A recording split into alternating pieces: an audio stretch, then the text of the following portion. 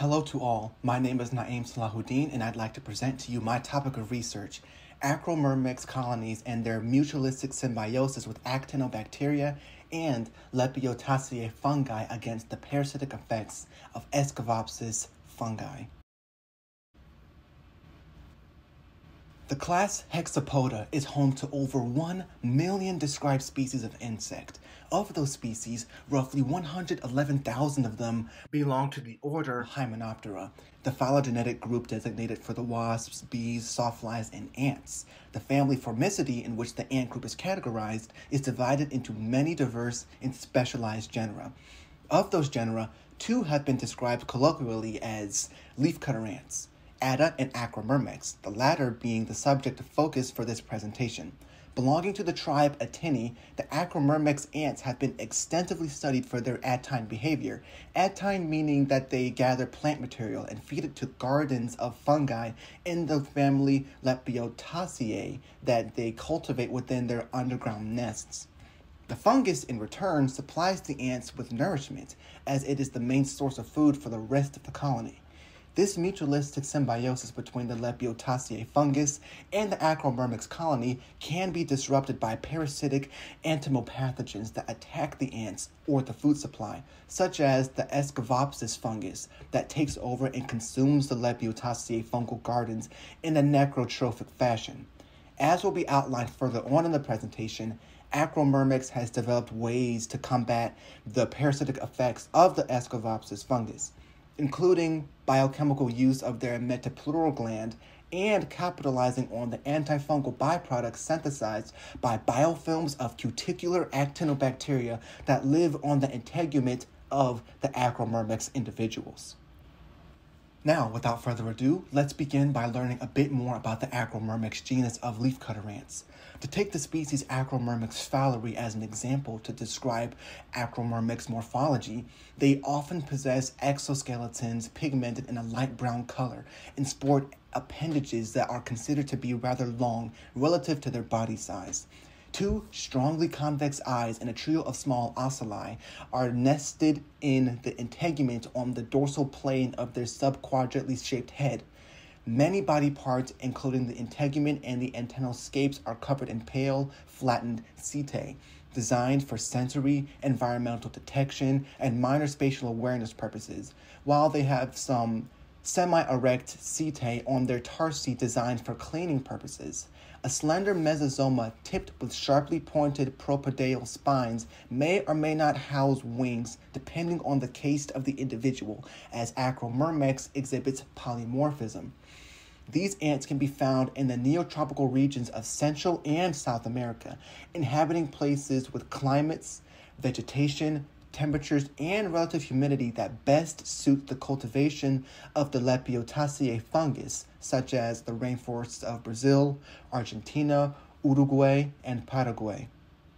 Now, the symbiotic dependence on this family of fungus began more than 50 million years ago, as studies have shown important macromolecules and nutrients needed for the growth, development, and sustenance of the Acromyrmex colony, such as sugars, carbohydrates, and lipids, could be obtained by the obsessive consumption of hyphal structures that grow from these Lepiotaceae fungal groups. So, the ants began to depend on them as a major food source for not only the adult workers in the colony, but also the larvae stored in their brood. Now, Lepiotaceae is a family of fungus belonging to the phylogenetic order Agaricales, a group of highly diverse gilled mushrooms. Interestingly, Lepiotaceae does not naturally occur beyond the fungal gardens of the leafcutter ants due to their co-evolved dependence on these ants. The Acromyrmex colonies have perfected the behavior of taking fungal members from the Lepiotaceae family to raise and cultivate in their subterranean nests. Leucoagaricus and Leucocoprinus being two genera of fungus that populate these fungal gardens. These species of fungus grow in large hyphal structures called gongylidia, filled with sugars, carbohydrates, and lipids that they allow the ants to harvest and distribute to the entire colony for their nourishment. To dive a bit deeper into the fungal cultivation process, the Acromyrmex colony sends out droves of forager ants to collect plant material to process and use as substrate to grow the Lepiotaceae fungi, as the fungi are saprophytic in nature and absorb the nutrients from the leafy substrate. Each leaf fragment is taken down into the nest and cleaned meticulously by the fungus cultivating worker ants using a combination of enzymes produced by their labial and metapleural glands to destroy antagonistic microbes and hyphae to prevent growth of unwanted fungal and microbial parasites. I'll conclude this section covering the Acromyrmex's fungal cultivation of Lepiotaceae by clearly outlining the manners in which these two organism groups fundamentally benefit one another. As mentioned before, Lepiotaceae fungus does not grow outside the chambers of the Acromyrmex nests. Acromyrmex has dedicated entire chambers and spaces for these species to survive, grow, and reproduce. Acromyrmex dedicates labor and energy towards supplying the fungus with the space and nutrients it requires to grow, taking the time to prune through the garden and apply antimicrobial fluids that it secretes from its metapleural gland, whilst removing unwanted hyphal growth from the gardens to further protect the Lepiotaceae fungus from being subject to infestations.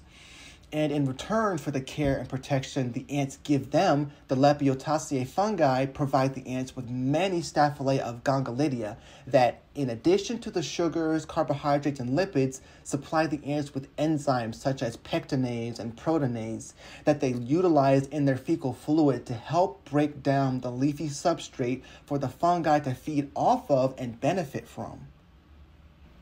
The next topic here describes the phylogeny of the parasitic fungus genus Escovopsis and the methods of how it can utterly take over entire Acromyrmex colonies and cause them to collapse. And it all starts with tiny imperfections in the cleaning processes of the leaf fragments and the workers that return from foraging. Escovopsis is a genus of parasitic fungus belonging to the phylogenetic family Hypocreaceae that has taken advantage of the attine behavior of the Acromyrmex colonies, co-evolving right alongside the Lepiotaceae fungi. The Lepiotaceae fungi is their only host, making Escovopsis an obligate parasite. Escovopsis is also the only known organism that parasitizes on Acromyrmex, infiltrating their nests by having their spores and infectious hyphae stick to the bodies of forager ants and plant material to be taken into the nest unbeknownst to the ants. Failure to thoroughly sanitize their bodies and the leaf fragments results in the ants planting the spores and hyphae directly onto the Lepiotaceae fungal community, which the Escovopsis soon begins to feed off of. As it grows, Escovopsis will secrete compounds that digest the mycelium of the Lepiotaceae fungus, eventually killing off the supply in a necrotrophic fashion, inevitably driving the ant colony to starvation and death. While Escovopsis slowly begins to take over the fungal garden, they release secondary metabolites in the form of the virulence factors melinacidin 4 and chironin to protect themselves from the antifungal agents produced by the Acromyrmex ants and the cuticular actinobacteria, which I'll discuss in a couple moments, eventually killing them. As melinacidin 4 kills off the cuticular bacteria, chironin will build up in the tissues of the Acromyrmex fungal garden workers, negatively altering their behavior by further reducing their efficiency in cleaning the leaf fragments and the fungal gardens of Escovopsis hyphal growth, promoting the growth of the parasite and increasing the chances of an Escovopsis outbreak spreading throughout the colony. With the threat of the Escovopsis fungi looming over the Acromyrmex colony and Lepiotaceae fungal community, biochemical walls of defense have been utilized by the Acromyrmex colonies to combat and eradicate the parasitic effects of the Escovopsis fungus. All ants have a set of organs called metapleural glands that are located in the posterior lateral margin of the mesosoma that secrete antimicrobial compounds used for nest sanitation. And these glands have been enlarged in Acromyrmex ants due to their increased dependence on the thorough sanitation of their bodies and fungal gardens to prevent parasitic invasions and infestations. As their first line of defense against Escovopsis infections, habits have been observed of acromyrmex individuals covering their tarsi in the metapleural gland secretion, rubbing their bodies, the bodies of fellow workers, as well as the fungal gardens themselves with it for disinfection and sanitation purposes. In combination with the metapleural gland, the acromyrmex colonies take advantage of yet another mutualistic symbiosis they formed with another set of organisms.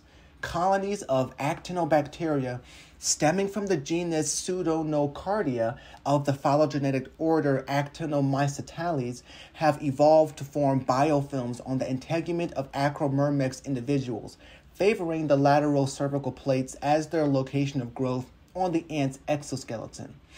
As the ants provide these actinobacteria with the space to live and subcuticular secretions to metabolize and use as sources of nutrients, the actinobacteria release antifungal compounds similar to nystatin that inhibit fungal growth of Escovopsis.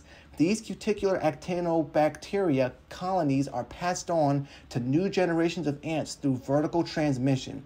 Studies have shown that unless acromyrmex colonies are under high levels of stress, the compounds that pseudonocardia release are sufficient enough to keep Escovopsis at bay. To summarize these symbiotic interactions, I've created this diagram illustrating the different positive interactions that take place between these different organismal groups. The positive interaction of the Acromyrmex ants' cultivation and care of the Lepiotacea fungi helps them survive, grow, and reproduce. The Lepiotacea fungus then provides the Acromyrmex individuals with the nutrients needed for their colony to thrive, whilst also providing the Acromyrmex individuals enzymes needed to help them create the substrate required to feed the Lepiotacea fungus. This interaction promotes the ongoing survival, growth, and reproduction of both organismal groups. And as long as the acromyrmex individuals can continue to survive, they can continue to provide a habitat and source of nutrients for the pseudonocardia cuticular actinobacteria. This positive interaction results in the pseudonocardia actinobacteria providing both acromyrmex and Lepiotacea fungus with the extra antifungal compounds required to inhibit the growth of the parasitic Escovopsis fungus.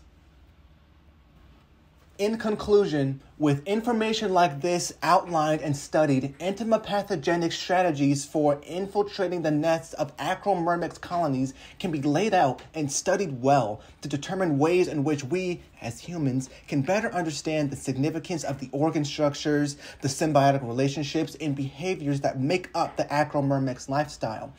The studying of the antifungal components secreted by the Pseudonocardia cuticular actinobacteria and the ant's metapleural glands can lead to the industrialization and utilization of such microbes or the laboratory synthesis of these antifungal compounds to use in commercial products such as fungicides.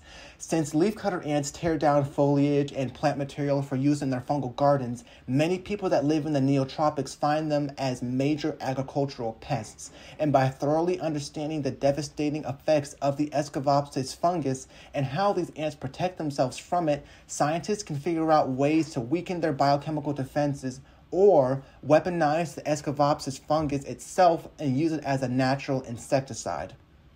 That concludes my presentation. Thank you all so much for listening.